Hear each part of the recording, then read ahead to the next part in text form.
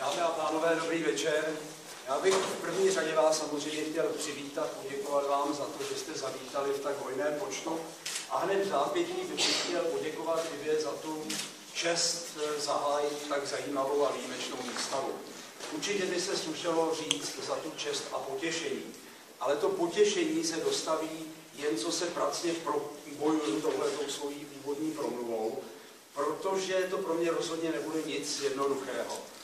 Já jsem pro dnešní večer zcela viditelně e, ze dvou úhlů pohledu indisponován. Ta první indispozice tkví v tom, že jsem trošku povalen silou příběhu, který je za dnes vystavenými díly.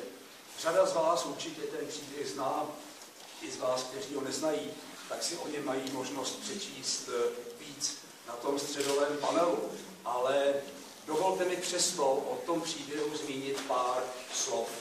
Já jsem z něj docela vedle, protože jsem se ještě nesetkal s tak eh, krásným a mocným naplněním sousloví před obraz a obraz.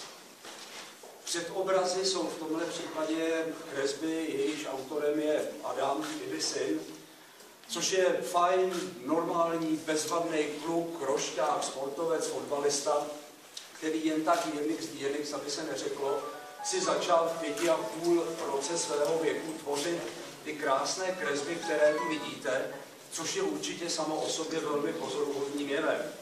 Ale co víc, úplně jinou dimenzi nabide tenhle předobraz, tyto kresby, když se stanou matce inspirací inspirací pro vznik obrazů, které vidíme kolem sebe. Ale co víc, když se stanou inspirací pro boj s nepřízní osudu, když se stanou inspirací e, pro e, zvládání všech nepřízní, které nám život zahodí pod nohy.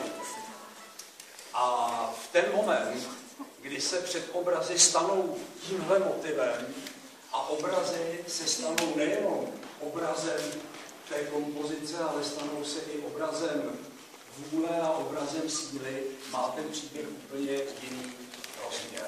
No a řekněte, řekněte něco k takovému příběhu. No a řekněte něco k takovému příběhu, když se ve výtvarném umění vůbec nevyznáte. Já jeho podezřívám, že mě jsem přivedla trošku pro vaše potěšení, abyste viděli, co ten strejda bude povídat za hlouposti, a byla to moje noční můra, abych se nedostal do nějakého válce dutých frází a planých slov.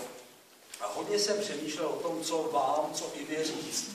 A pak jsem se chytil kouzelného slůvka, které má svůj váhu a svůj význam a svůj flair v každém oboru. Ve výtvarném umění, jako ve sportu, jako v biznise.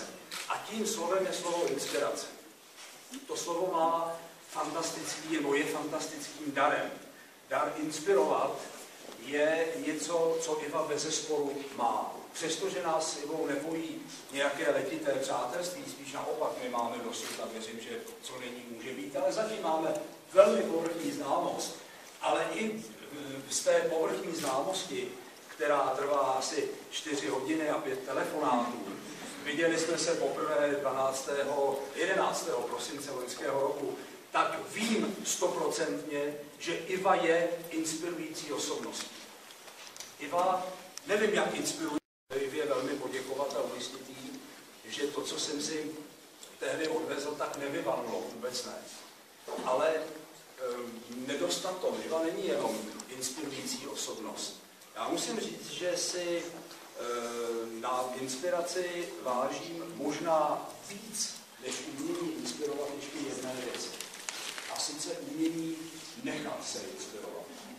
Umění inspiraci zavnímat, přijmout, uchopit, rozvinout a poctivou prací dotáhnout do perfektního díla.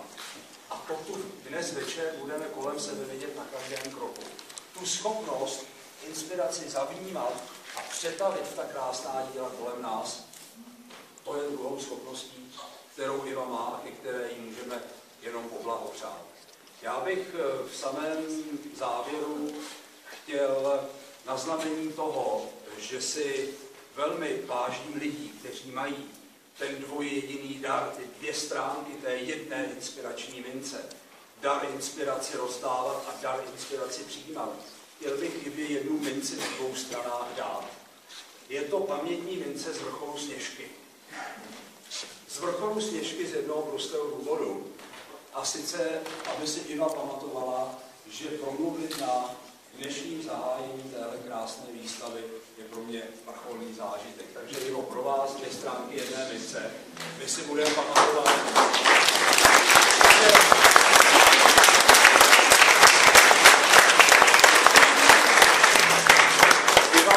inspiraci stejně krásně rozdávat, jako přijímat a budem e, za to dnes večer a nejenom dnes večer je velmi vděčný. Ivo, já vám přeju, aby se výstava hodně líbila, nám všem přeju krásný zážitek a přeju jak Ivě, tak Adamovi oběma spolu autorům krásných děl, obrazů i před obrazů. Hodně štěstí a hodně zdraví.